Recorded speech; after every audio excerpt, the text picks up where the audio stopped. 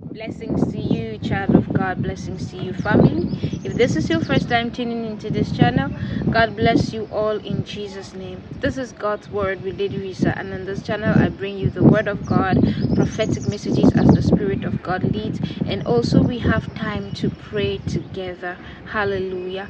I'm trusting God that He will meet your heart desires as you connect daily to these prophetic messages and as you, you know, pray with us on this channel. We've had so many testimonies to the glory of God, and I'm trusting God that you will be the next to testify.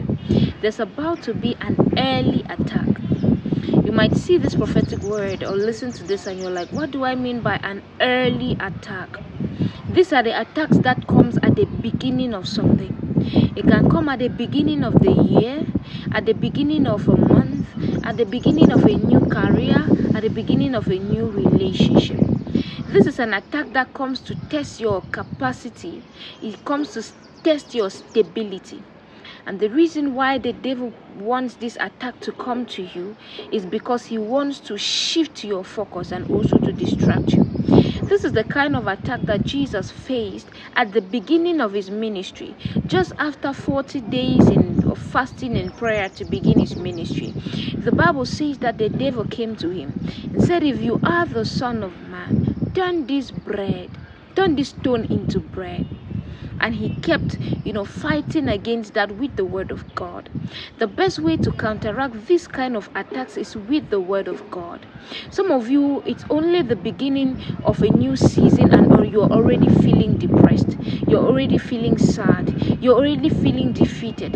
Already feeling like you might not be able to make it. And god is saying that you can the lord that gave you that opportunity is willing and able to sustain you in it the lord that gave you that platform is willing and able to sustain you in it. So you have to declare the word of God.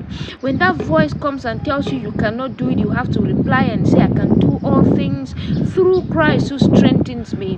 When that voice comes to you and say this will make you depressed, you're going to say, I have joy. With joy shall I draw from the wells of salvation. When that voice comes to tell you you are not good enough, you're going to tell voice that I am a child of God. I am a covenant child of God. I can do this. I can do this. I, it's, it's the Lord's desire that I prosper. It's the Lord's desire that I win. It's the Lord's desire that I take over. That will be your confession. These attacks will not sweep you off. In the name of Jesus, I pray that the Lord gives you grace and the Lord sees you through. In Jesus' name. I love you so much and I'll be with you soon with another prophetic word. Shalom.